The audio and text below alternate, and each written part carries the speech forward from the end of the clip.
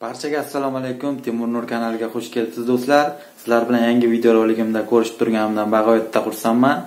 Bugungi videoroligim ijtimoiy tarmoqlarda ko'plab muhokamalarga sabab bo'layotgan mavzu. Chet elda ishlab yurgan yurtdoshlarimiz soliq to'laydimi? Soliqqa tortiladimi? degan savollarga javob keltirib o'tilgan.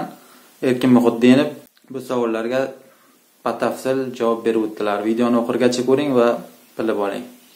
Assalomu alaykum.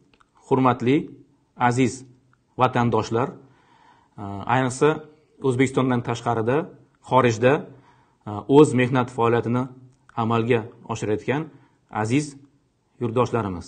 Kecha bugun e, ijtimoiy tarmoqlarda bitta xabar keng tarqaldiki go'yoki keyingi yil birinchi yanvardan xorijda ishlayotgan vatandoshlarimiz soliq to'lashga majbur bo'ladi deb mana men e, rasman aytaman vazirlik tizimida e, shu mehnat migratsiyaga javobgar rahbar sifatida bu narsa noto'g'ri.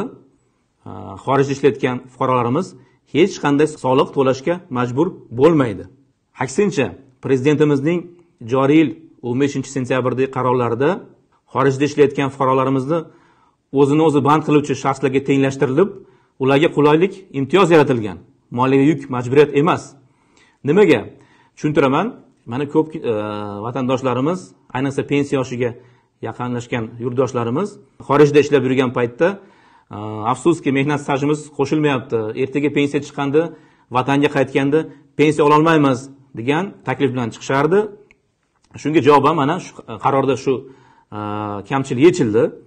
Ya'ni keyingi yil birinchi yanvardan fuqarolarimiz ixtiyoriy ravishda majburiy emas shu xorijda ishlab yurgan paytda e, pensiya mehnat staji hisoblanishi ular pensiya chiqqanda pensiya olish uchun e, haqiqatdan shu pensiya fondiga ijtimoiy to'lov to'laydi. Bu to'lov minimal. Bu yil uchun e, ikkinchi yarim yillikka bir yuz o'n bir ming ikki yuz so'm tashkil etgan. Vaholanki eng minimal pensiya hozir o'zbekistonda besh yuz o'n uch ming tashkil qiladi. Tasavvur qilyapsizlarmi? Yiliga bir yuz o'n bir ming to'lab oyiga besh yuzdan ortiq ming e, pensiya olish huquqiga ega bo'lishdi farqi bor. Hurmatli ommaviy axborot vositalariga blogerlarga ham iltimos qilmoqchiman.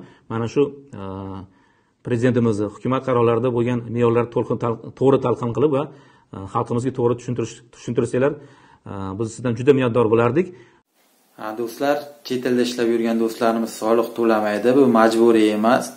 Ixtiyoriy tarzda agar siz Э, nima desam bo'ladi. Qarilik pensiyasini olmoqchi bo'lsangiz to'lov qilib staj deyiladi. Ya'ni staj ketkazsangiz bo'ladi.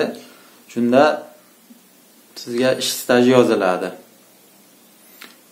Shu bilan videoroligimizga yakun yasaymiz do'stlar. Manimcha hamma tushunib oldi. Erkin muhiddinovning gaplariga batafsil yoritib o'tilgan bu mavzu.